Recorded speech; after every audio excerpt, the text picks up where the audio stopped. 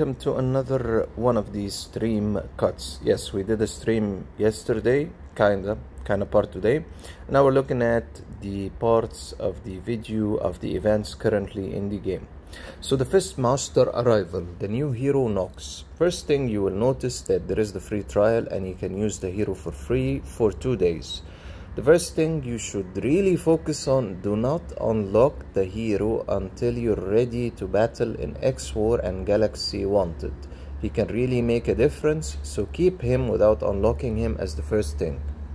Next, you have the usual quests that you need to complete. By completing the, uh, completing the quests, you'll gain Knox in his excellent awakened state, just excellent normal copy of Knox, as soon as you reach level 10. The conditions, of course, is to do the daily quests for the event and, of course, to use him in different parts of the game for the challenge quests. Then you have the flash sale.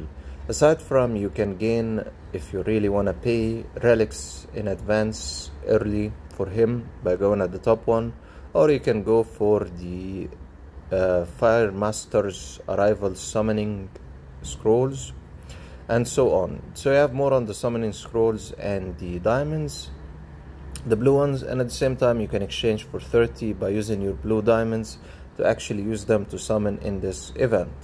That's the Fistmaster flash sale.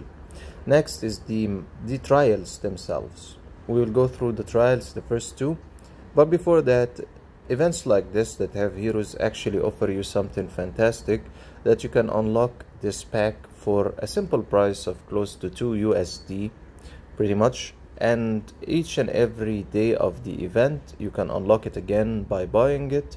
And it gives you four shards of the S plus faction selection card.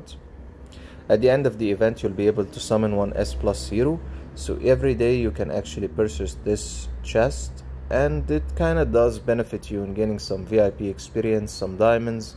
The S plus 4 faction selection card and you can look at the heroes here available.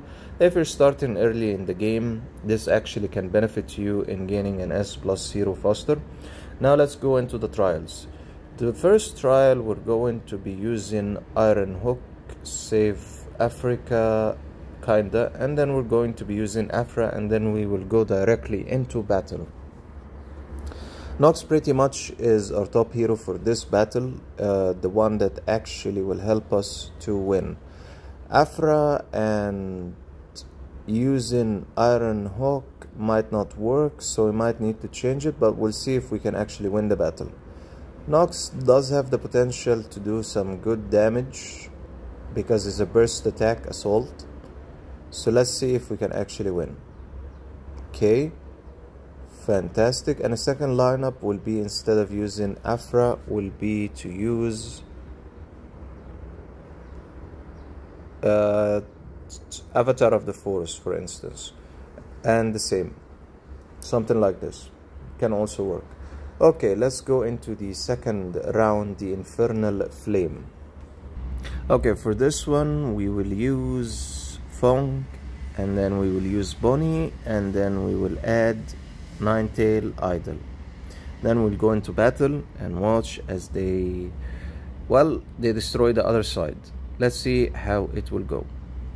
So Knox is kinda the DPS in this battle more than any of the other heroes because of his special skill attack, the ultimate attack.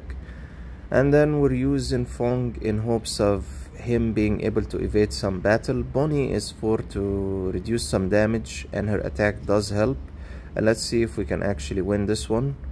Very close. Okay one last hero okay and we won. Fantastic. So that would be the first battle and the second battle and then you would go directly back after you've collected some of the summoning scrolls for the event. And let's try these two summon scrolls and a one and a two.